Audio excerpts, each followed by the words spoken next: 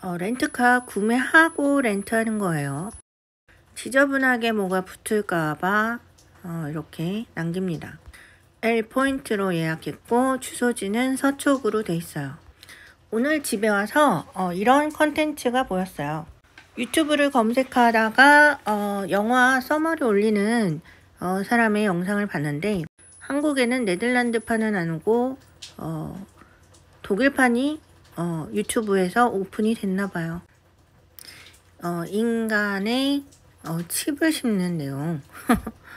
이 컨텐츠가 왜 보였는지 모르겠지만 한때 기독교 사람들이 너무 괴롭혀서 제가 네덜란드 여행기를 사본 적이 있거든요.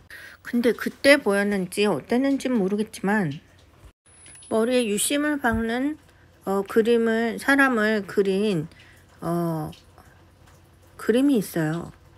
아마 뉴럴링크 때문에 이게 그, 이런 그림을 그리지 않았나 나중에 보였는데 이 그림을 그릴 땐 그런 게 있는 줄 몰랐죠.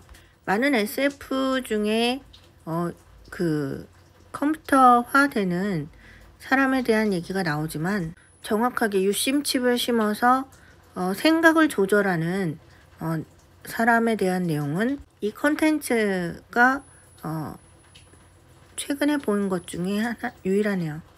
이 컨텐츠는 오늘 봤는데 24년에요.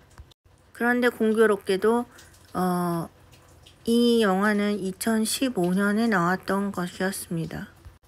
이 감독도 어, 굉장히 특이하게 생겼던데 한때 네덜란드인가 덴마크 쪽 컨텐츠 중에 거미줄에 걸리는 소녀가 어, 그 내용이 있었어요. 그런 컨텐츠의 발단은 이 컨텐츠가 아닐까 생각해 봤습니다. 참 희한하게도 제가 2015년에 컴퓨터 학원을 다니기 시작했고 그리고 그 해에 이혼했어요. 2014년부터 컴퓨터 학원을 다녔죠. 얼마 전 본 크리에이터와도 일맥상통하는 내용이네요. 그런데 크리에이터는 어, 여자와 남자가 죽고 이 내용은 어, 참가자들이 모두 사네요. 조금 더 좋은 결말인 것 같습니다.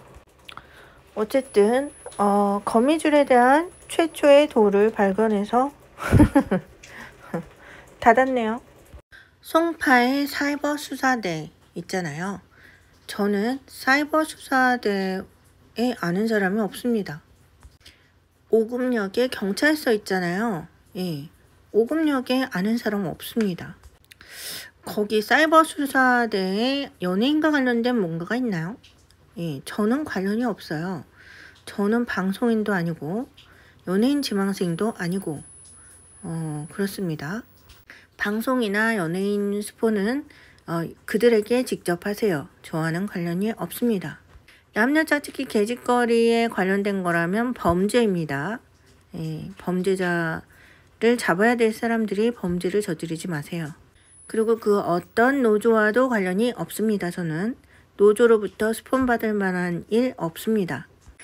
처음에 올렸듯이 어, 금액 모두 지불한 내용이고 어, 스폰 받는 내용은 없습니다. 어찌되었든 어, 이 영화가 떠서 봤어요.